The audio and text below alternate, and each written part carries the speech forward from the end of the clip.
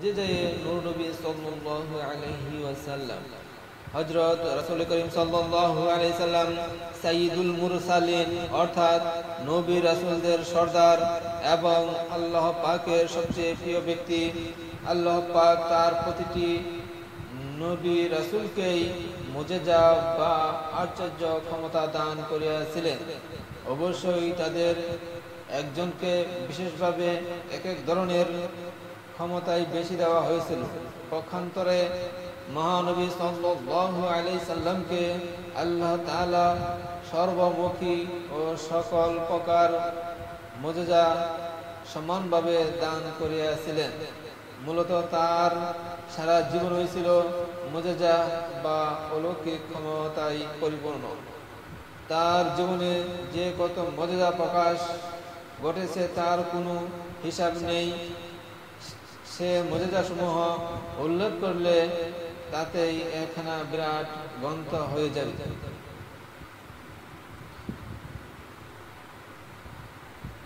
আমরা তার সেই অসংখ্য মজেজা হতে কতিপয় মজেজা উল্লেখ করব।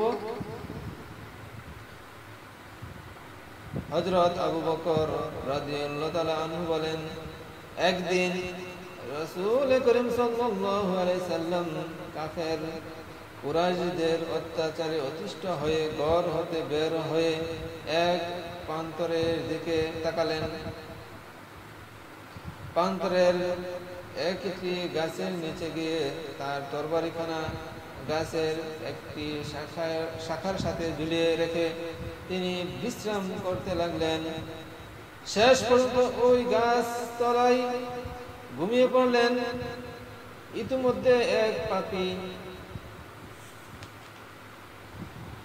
ইতিমধ্যে এক পাপি ইহুদি রাসূল করিম সাল্লাল্লাহু আলাইহি সাল্লামকে এই রূপমন্ত অবস্থায় দেখতে পেয়ে সুযোগ বুঝে রাসূল করিম সাল্লাল্লাহু আলাইহি সাল্লাম এর তরবারিখানা নামিয়ে তা দ্বারাই তাকে হত্যা করতে উদ্যত হলো। এতে হঠাৎ ওই গাছের একখানা ডাল আপনা হতে প্রসারিত হয়ে উক্ত ইহুদির মাথায় এমন জোরে আঘাত করল যে তাতে তার মাথা ফেটে চৌচির হয়ে মগজ বের হয়ে গেল আর পাপিষ্টের জীবনের পরিসমাপ্তি ঘটিল।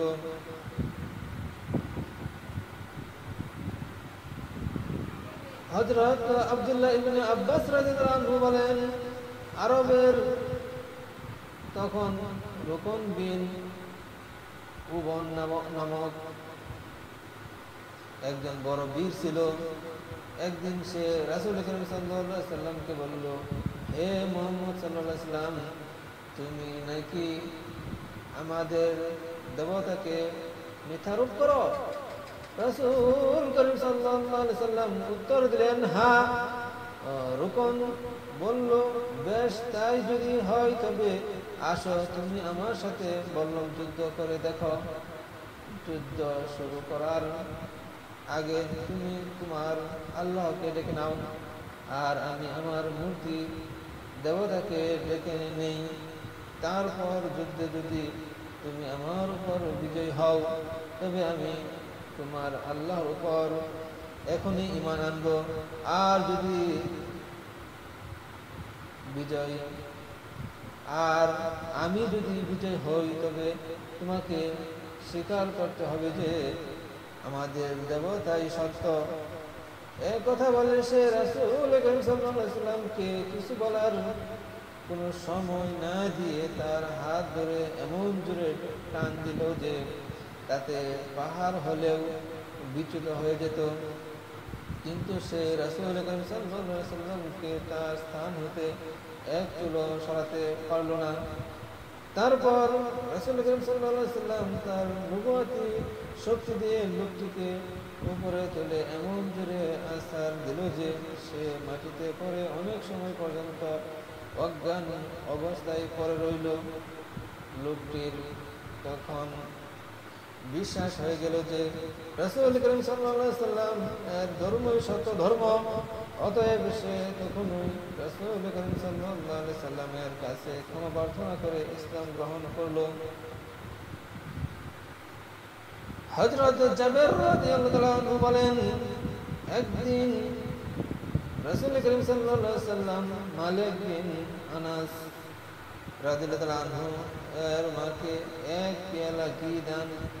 করেছিলেন।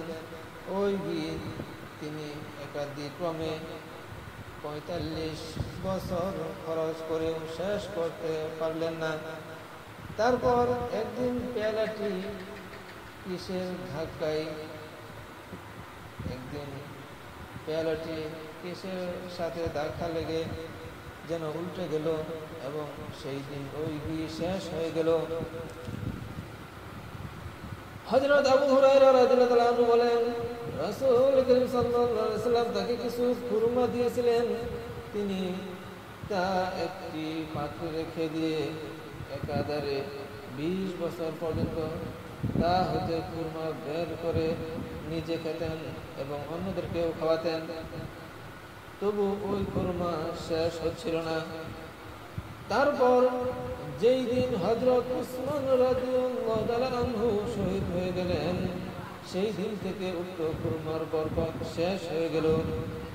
মক্কা বিজয়ের দিন সাল্লাম যখন হেরেম শরীফ প্রবেশ করে তার হাতে যষ্টি আঙ্গুল দ্বারা কাবা ঘরে রাখা মূর্তিগুলোর দিকে ইশারা করে পাঠ করতেছিলেন جعل الحق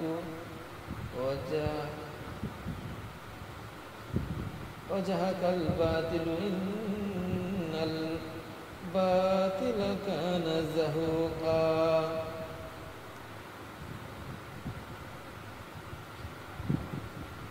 جعل الحق وجهك الباطل إن বাতিলা কানা জাহুকা।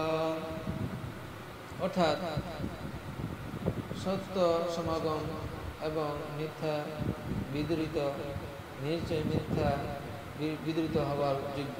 তখন প্রত্যেকটি মূর্তি উপর হয়ে মাটিতে পড়ে যাচ্ছে। এক ব্যক্তি বাম হাত দ্বারা খাবার খাচ্ছে। রাসুল সাল্লাহ সাল্লাম তাকে দেখে লোকটিকে ডান হাত দিয়ে খেতে বললেন। কিন্তু লোকটি মিথ্যা বলল যে, আমি ডান হাত দিয়ে খেতে পারি না। তখন রসুল সাল্লাহ সাল্লাম বললেন, তা তুমি কোনোদিনই পারবে না। বাস্তবিকই সেই দিন হতে লোকটি কোনোদিনই আর ডান হাত দিয়ে কোনো কিছু খেতে পারে না। রাসুল করিম সাল্লাহ সাল্লাম নবপ্রাপ্তির পর যখন রাস্তা দিয়ে পথ চলতেন তখনই পথের পাশ থেকে পাথর সমূহ তাকে এভাবে সালাম করত। আসসালাম আলাইকুম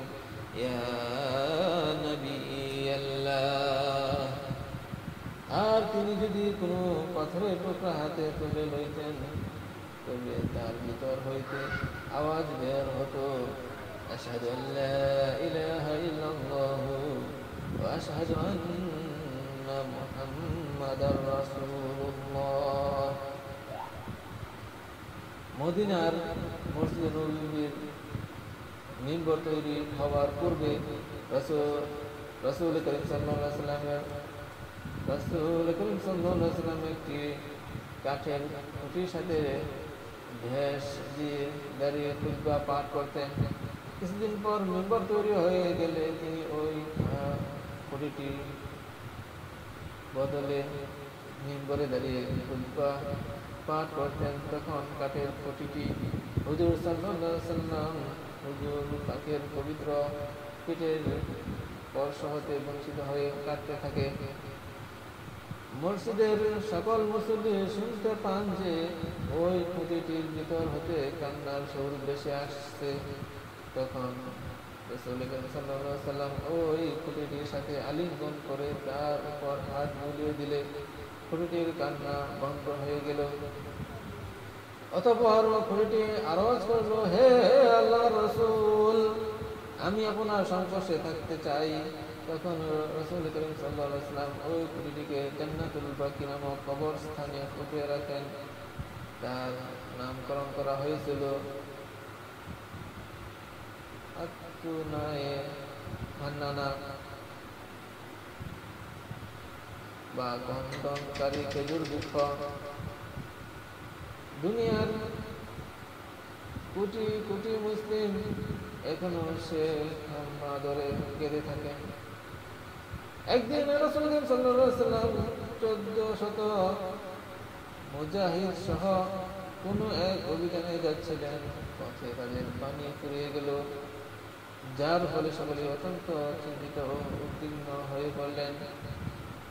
তখন রসুল করিম সাল্লাম তার পবিত্র সাত আঙ্গুল দ্বারা জমিনের জমিনে এক স্থানে একটি টুকরা, একটি টুকা দিলেন। অমনি সেখান হতে একটি ঝর্ণার উৎপত্তি হলো এবং তা হতে অবিরাম দ্বারাই পানি বের হতে লাগল। সকল মহির সে পানি দ্বারা উদু গোসল করলেন। পান করলেন এবং তা দ্বারা রান্না বান্নার কাজ করলেন। পরীক্ষা পরীক্ষার যুদ্ধ চলাকালে রসুল একবার একবার মাত্র চার শের জবের রুচি দিয়ে এক হাজার লোককে তৃপ্তি সাথে আহার করিয়াছেন। তারপর কিছু কিছু রয়ে গিয়েছিল।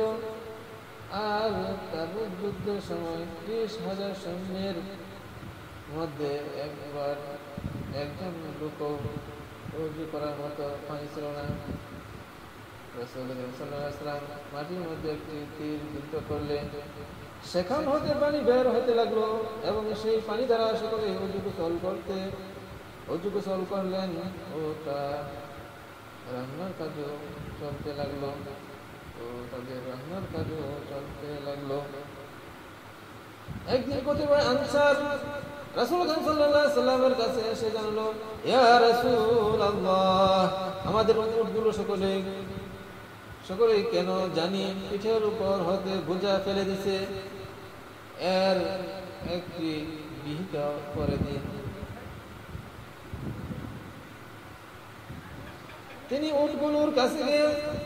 তাদের গায়ে হাত বলিয়ে দিলেন। অমনি তা শান্ত হয়ে গেল এবং আপনা আপনা, আপন মস্তক অবনত করে রসুল সাল্লামকে সম্মান জানালেন। তখন সাহাবাগণ আরজ করলেন, হে আল্লাহ রসুল, সকল জীবজন্তু আপনাকে সেজা করে। আমাদেরও ইচ্ছা হয় আমরা আপনাকে সেজা করি। রসুল সাল্লাম জবাব দিলেন মানুষের জন্য মানুষকে সেজা করা যদি জায়েজ হতো, তবে আমি প্রত্যেক স্ত্রী লোকের প্রতি তাদের স্বামীকে সেজা করতে আদেশ দিতাম, কিন্তু কখনোই মানুষের জন্য মানুষকে সেজা করা জায়েজ নেই। একদা একটি উট এসে রসুল সাল্লামের কাছে নালিশ করল যে তার মালিক তাকে অত্যন্ত খাটায়, অথচ সে তাকে পেট ভরে খাবার দেয় না। আপনি রহমতুল্লিল আলামিন, সুতরাং আমার মালিককে আমার প্রতি একটুকু সদয় হওয়ার জন্য বলে দিন। তখন রসুল সাল্লাম মুক্ত উটের মালিককে ডেকে বললেন তোমার উটটি ন্যায্য মূল্যে আমার কাছে বিক্রয় করো, অথবা তাকে পেট ভরে খাবার খেতে দাও, আর একটুকু বিশ্রাম করতে দাও।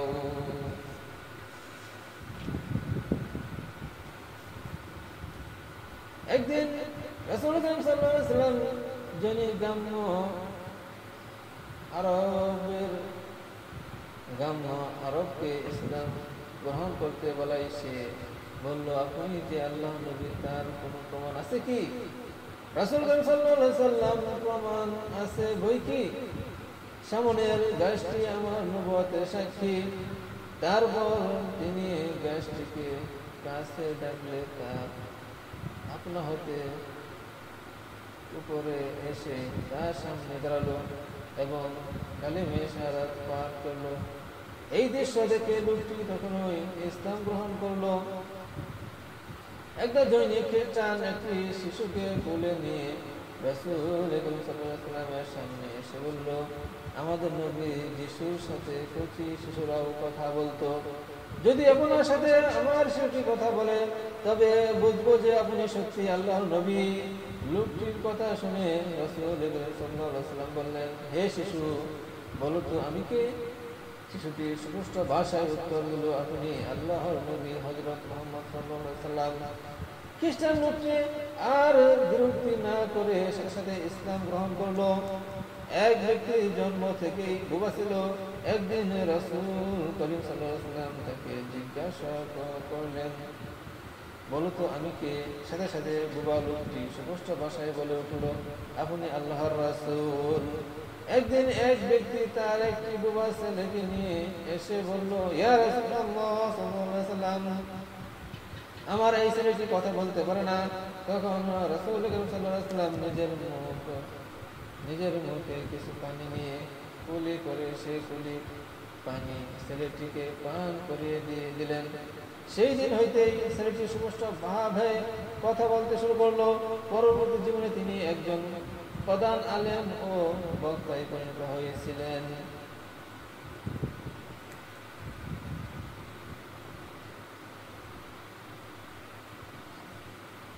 এক কঠিন রোগ, এক কঠিন রুগী প্রায় মরণপূর্ণ অবস্থায় উপনীত হয়েছিল।